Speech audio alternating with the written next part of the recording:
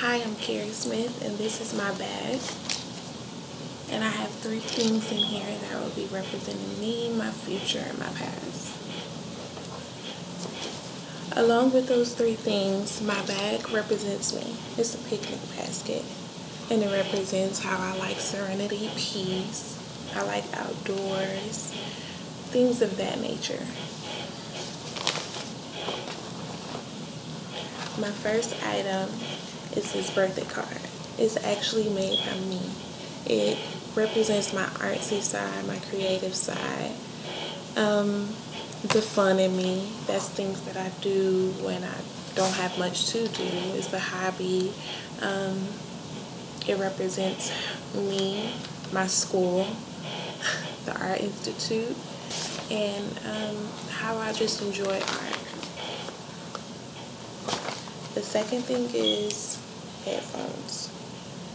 These headphones represent my love for music. No, I can't sing. I wish I could, but I can't.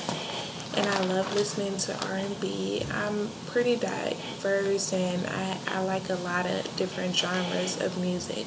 I like R&B, I like some pop, country, hip hop. Um, I'm a big fan of the 90s yeah, I'm just pretty much everywhere, sometimes before my time, but there's nothing wrong with that. My third thing is this kimono.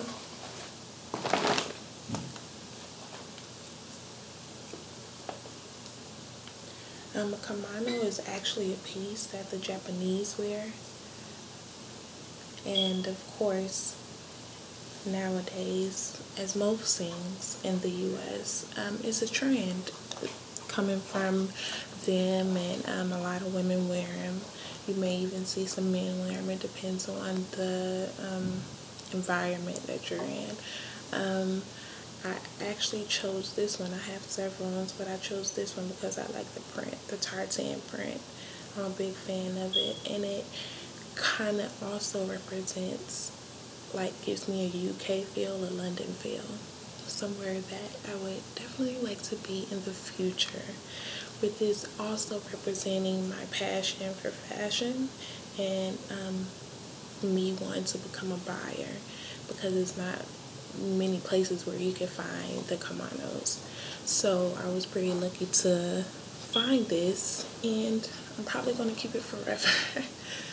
So yeah, these are my three things that represent me along with my bag.